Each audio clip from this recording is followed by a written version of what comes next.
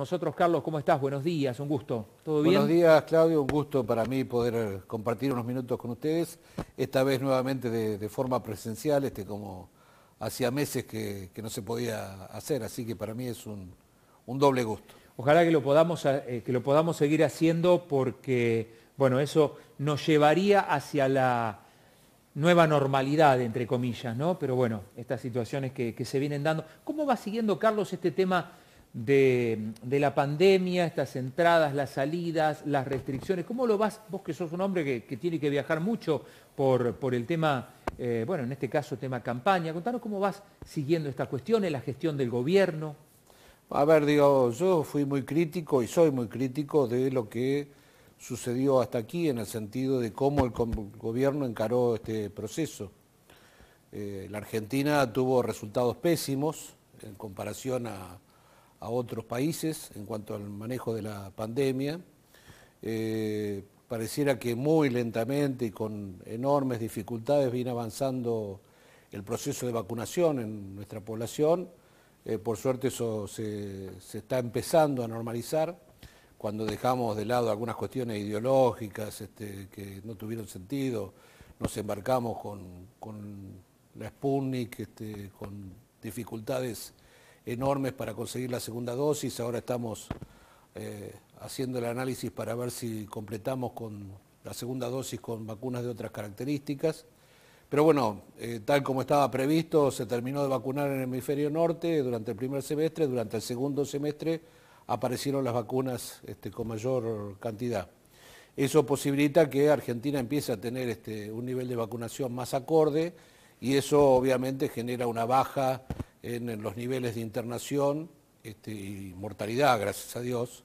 Este, más de 100.000 muertos hemos tenido en nuestro país. Todos hemos perdido algún familiar o algún amigo cercano por este flagelo, eh, lo cual ha provocado enorme dolor desde lo humano, desde lo personal y desde el punto de vista económico, este, consecuencias terribles, con cierres de, pymes, de pequeñas empresas, con pérdida de empleo, que recién empezamos a eh, transitar un camino hacia este, la normalización que va a llevar este, un largo tiempo, digamos, en Argentina no menos de dos años para volver a, niveles de normalidad.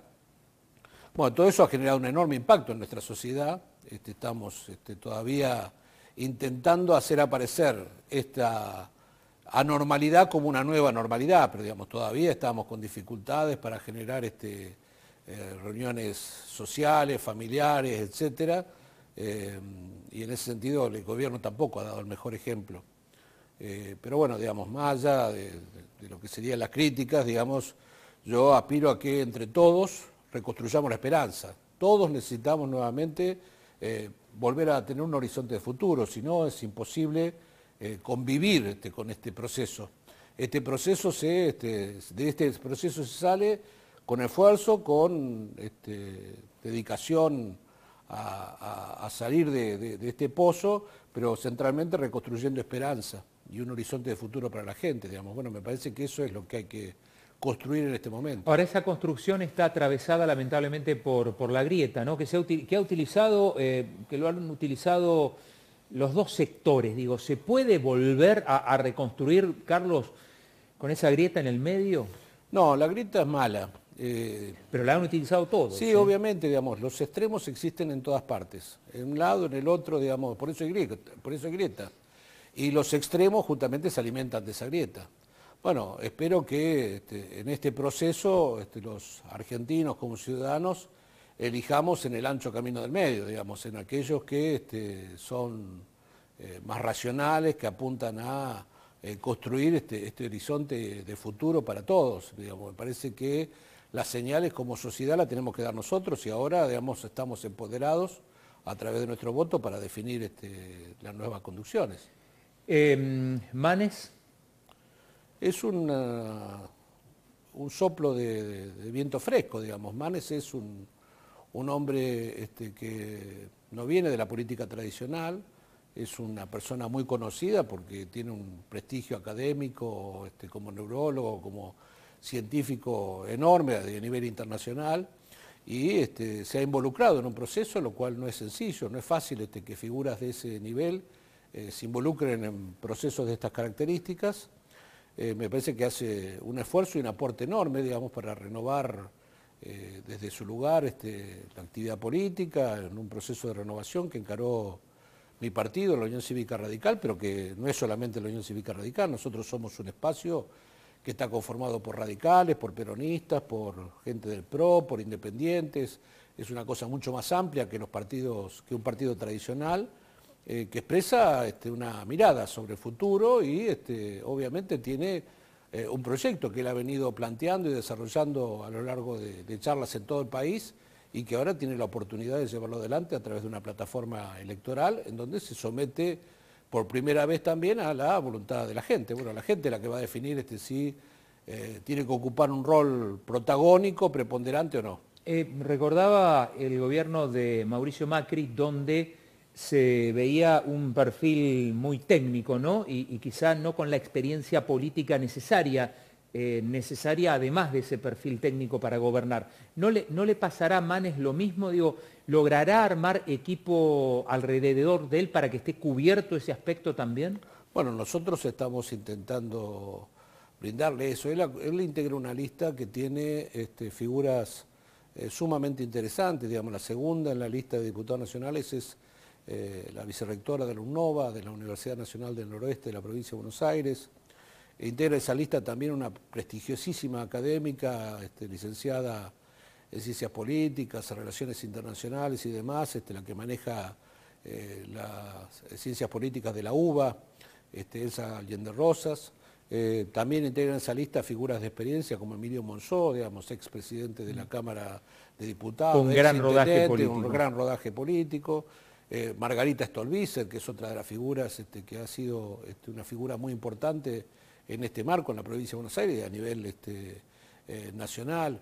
El propio Fabio Keklas. Pero vos sabés, él se tiene que dejar, eh, digamos, Está claro, por supuesto, digamos, pero digo, yo por lo menos la experiencia personal que tengo por la relación que, genera mi, rol en el radicalismo y la relación personal que tengo con Facundo, sé que es un hombre que escucha, que, que presta atención a lo que se le plantea, que obviamente tiene su propia impronta y personalidad, digamos, estamos hablando con alguien que no, se va, no lo va a llevar de las narices nadie, este, pero digo, pero que es una eh, persona que como, como su propio formato, digamos, este, la realidad es, él es un científico, los científicos están preparados justamente para este, hacer un diagnóstico a partir de distintas variables y hacer un análisis este, completo de las variables y de todas las alternativas. Por lo tanto, eh, su propia formación ayuda a que él sea una persona que este, escuche y, Te iba a decir, los ingenieros también tienen una formación similar.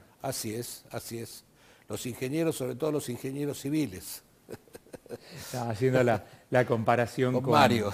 Exactamente. Eh, Carlos, eh, ¿cómo estás viendo la campaña de las PASO y cómo estás trabajando vos fundamentalmente? Porque sé que estás viajando bastante. A ver, yo soy, eh, actualmente estoy como presidente de la Convención Provincial de la Unión Cívica Radical, que es un rol central, obviamente, este, en todo el armado partidario, y como tal participé del cierre de todas las listas, digamos, de candidatos a diputados nacionales, en las ocho secciones electorales de la provincia, donde hay que elegir legisladores provinciales, en algunas senadores y en otros diputados. Intervine en cada uno de los 135 distritos de la provincia, en donde este, en algunos distritos tenemos eh, dos o tres listas, en otros hay una sola. Eh, ahora hay que definir este, el proceso de lo que se dice el pegado, digamos, de qué listas van a tener acceso, el apoderado partidario este, le va a dar acceso a la lista completa o van a tener que competir este, con, lista corta, digamos, la paso, lo que posibilita es que cualquiera pueda presentarse al proceso electoral. Ahora, quien define si este, vos vas este, pegado a la lista provincial o nacional es el apoderado del nivel superior, no es este, una decisión individual de, cualquiera que se presenta este, a la elección. Bueno, todo eso obviamente necesita un armado, al igual que este, todo lo que es este, la complejidad de una campaña, digamos, por ahí para, la gente común no, no tiene, ni, le interesa ni tiene por qué interesarse en una cuestión de estas características. Pero vos pensás que es un armado sumamente complejo, que hay que este, organizar, hay que generar este, los, pasos necesarios como para que los candidatos tengan una presencia de acuerdo a lo que sería una fórmula polinómica este, que tiene que ver con la cantidad de, electores que hay en cada distrito, con lo que son de alguna manera cabeceras de cada una de las secciones electorales, lo que son los 38 distritos en la provincia donde está concentrado el 80% del electorado, este, del total de la provincia, digamos, bueno, hay todo un armado sumamente complejo que hay que este, trabajarlo, eso requiere de, gente que conozca el territorio, pero que además que conozca a los actores. Este, si no, podés poner a, cada candidato, lo podés poner una trampa mortal en cada uno de los distritos. Entonces, digamos, todo eso hay que trabajarlo y en eso yo tengo una enorme tarea por delante. ¿no? ¿Qué, se define, Carlos, eh, en estas elecciones, eh, primero las PASO, después las generales? ¿Qué se define pensando de acá a dos años? Eh, ¿Se van perfilando candidatos presidenciales? Sí, a ver, todo se define.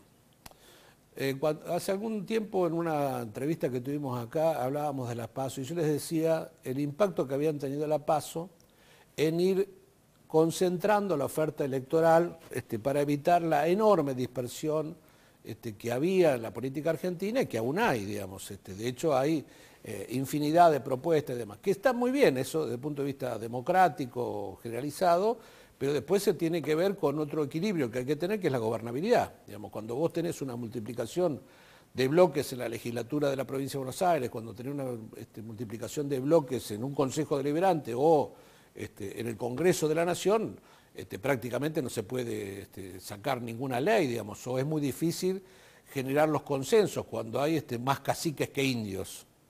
En ese esquema, digamos, las PASO de alguna manera son un eh, catalizador, un ordenador.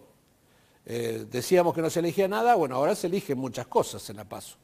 de hecho, en el caso de la PASO en la que nosotros estamos interviniendo, que es dentro de Juntos, dentro del espacio de Juntos, hay una discusión en donde el radicalismo reclamaba un rol de protagonismo mayor en el proceso de toma de decisiones. Bueno, eso se está dando y obviamente, digamos, finalizado el proceso, no va a ser el mismo el rol del radicalismo este, de antes al de este, posterior a, la paso.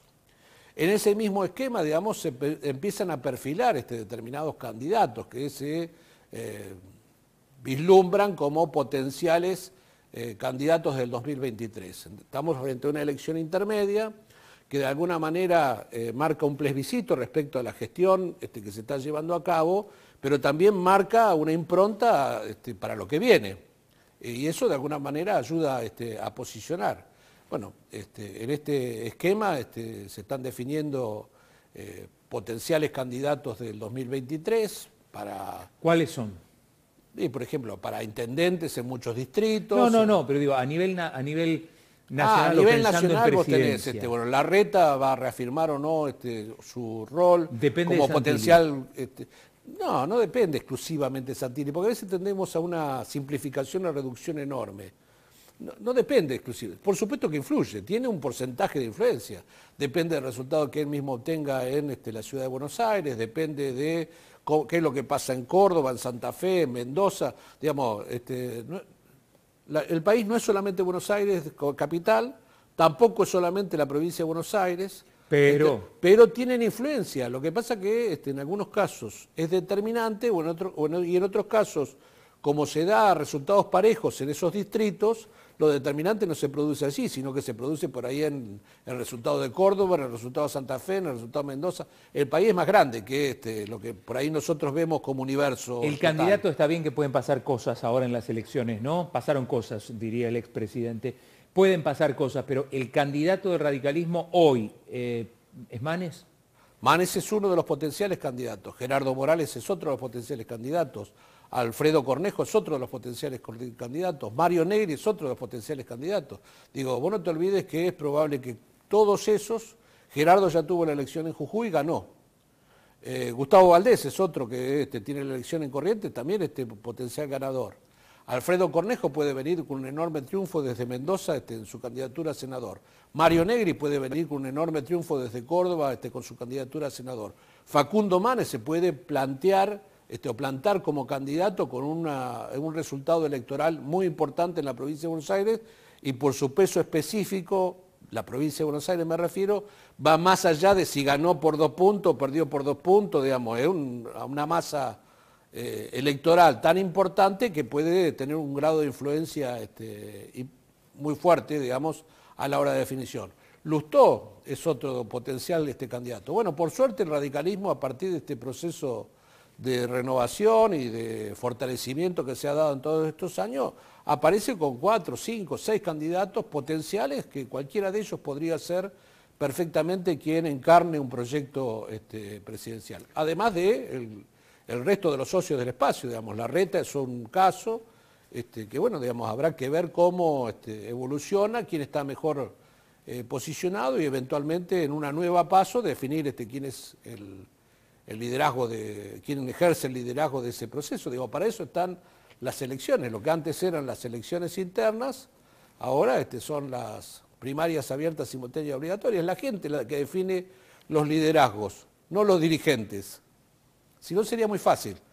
No es tan sencillo. Digamos, la que define los liderazgos es la gente. Estamos hablando con Carlos Fernández, diputado nacional. Y a nivel local, ¿cómo seguís la, interna? De cerca, digamos, este, obviamente tengo... Este, ¿Tu corazón está con Mario? Sí, está claro, yo pertenezco a ese espacio, este, he, estado siempre en ese lugar. Eh, Mario es un amigo al que conozco desde la infancia. Este, él es mayor que yo, pero fuimos al colegio juntos. este, eh, y lo conozco desde, toda la vida. Eh, integramos el gobierno de Miguel este, Lungui juntos, eh, fuimos parte de, su primer gabinete, por lo tanto tengo vivencias este, de toda una vida, además de compartir este, ideales y valores, este, lo conozco toda la vida, por supuesto que es un amigo. Eh, tengo el enorme respeto por el resto de los candidatos del espacio, eh, trabajo para que la competencia se haga en forma leal y equiparable o equivalente, porque ese es mi rol como autoridad eh, de hecho lo hice. intenté en algún momento que hubiera puntos de acuerdo. Este, ¿Trabajaste en ello? Trabajé para eso. Este, bueno, no se dieron. Este, ¿Qué, ¿Qué, faltó, digamos? ¿Por qué no hubo acuerdo? porque digo, me parece que hay una competencia por liderar el proceso, bueno, y es natural y legítima. Digamos. Yo no me digo, el, muerto no se va a quejar del degollado, digamos. Este, la realidad es que este, es la misma competencia, o la misma ambición, o las mismas ganas que tuve yo en cada momento de, mi, larga trayectoria política. Por lo tanto, digo, yo no voy a quejar o voy a poner este, cargos en los demás este, de lo que este, yo mismo hice. Eh, lo que por ahí este, uno corrido de la escena eh, intenta es este, transmitir de alguna manera este, un consejo, este, una, alerta. Eh, bueno, la cuestión no se tiene que salir de madre, ahora la competencia es absolutamente legítima y los liderazgos no lo definen los dirigentes, lo define la gente. Entonces, someterse al voto de la gente me parece que es lo más democrático, lo mejor que hay, y si eso se hace de una manera respetuosa, educada, cumpliendo reglas, este, eh, con determinadas formalidades, no tiene por qué dejar heridos, al contrario, eso potencia este, a los espacios, no los este, comprime, eh, ni termina achicando a una resolución entre cuatro dirigentes, lo que por ahí tiene que resolver miles. Bueno, acá no van a resolver miles. ¿Has charlado, eh, charlado con el intendente últimamente?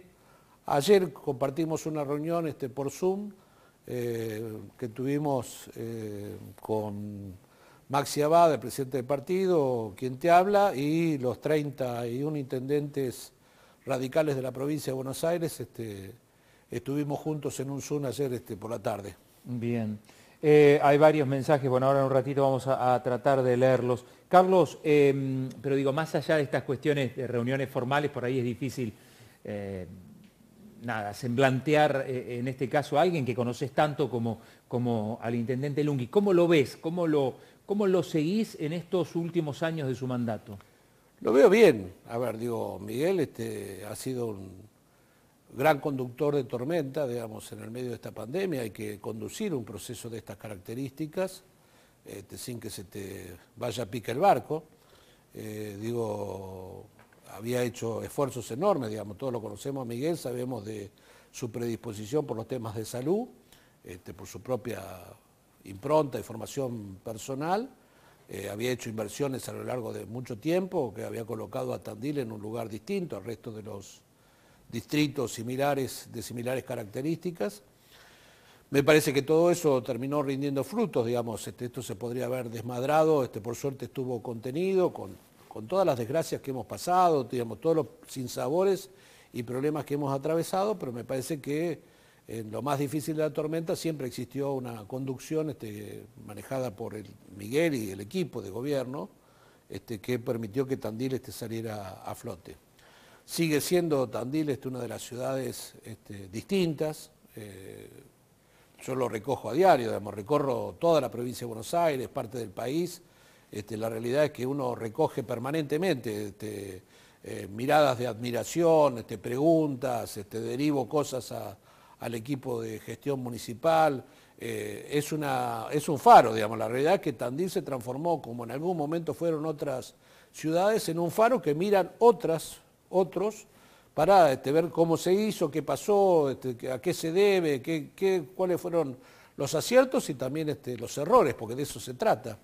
Eh, y en ese sentido me parece que Miguel está culminando una etapa brillante, eh, como creo que ninguno de nosotros tiene registro en la historia, de una transformación de la ciudad, hay que acordarse de lo que era la ciudad hace 20 años atrás, 18 años atrás, y lo que soy este, Tandil. Lo acompañaste muy de cerca en los primeros años de, sus mandatos. Los primeros seis años. Eh, ¿Te imaginás los últimos dos años acompañándolo también de cerca? No puedo, no creo, porque tengo responsabilidades. Este, digo, la realidad es que este, eh, hace muchos años eh, yo tomé una decisión, que es, este, y bueno, no se puede estar este, en la misa y tocando la campana a la vez. Digamos, salvo ahora con la cuestión electrónica, por ahí con alguna aplicación lo puede hacer, pero bueno, pero digo como, como refrán, este, me parece que, como refrán me parece que este, no, está bien, digamos, aplicarlo. Este, no se puede estar en los lugares que yo tengo responsabilidades y a su vez estando en Tandil. Vos pensás que yo en Tandil estoy el fin de semana con suerte.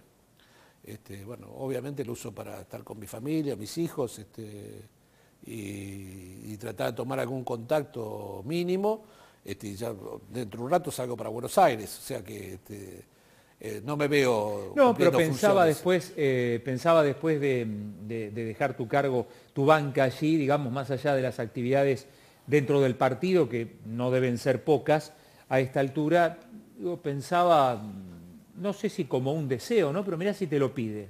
Me obliga, este, eh, me obliga la actividad que tengo a viajar mucho, yo no estoy en Tandil.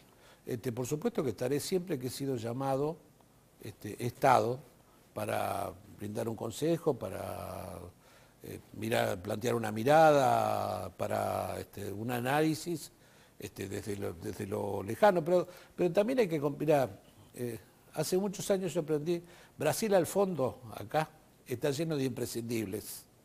Este, nadie es imprescindible. Y también hay que saber correrse para dejar crecer. Eh, digo, y yo tengo el mejor de los recuerdos este, y espero que tengan este, un recuerdo razonable de, mi paso este, por, las, tomas de decisiones locales, pero me parece que también hay gente que lo ha hecho posteriormente, lo ha hecho muy bien, digamos, así que nadie es imprescindible.